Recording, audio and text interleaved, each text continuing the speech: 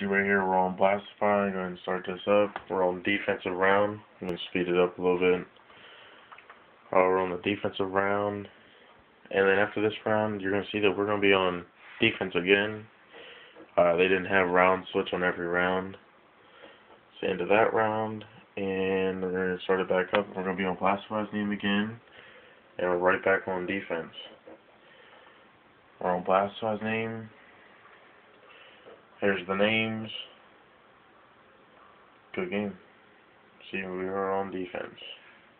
Good game.